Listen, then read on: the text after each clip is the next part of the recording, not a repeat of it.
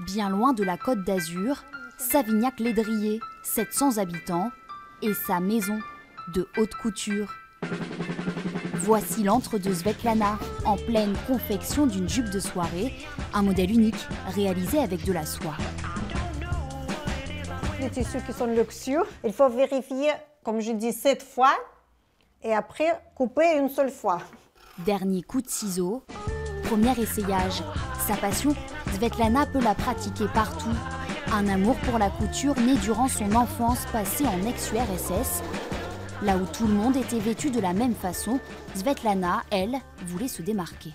Et un jour, quand maman est venue à la maison, elle a vu la moitié de rideau qui était coupé.